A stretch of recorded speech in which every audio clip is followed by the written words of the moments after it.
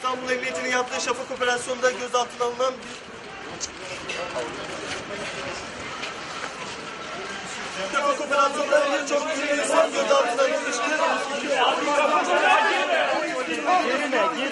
tamamlandı ve şu anda kan örneğini alınmak üzere adli tıp kurumuna götürüldü.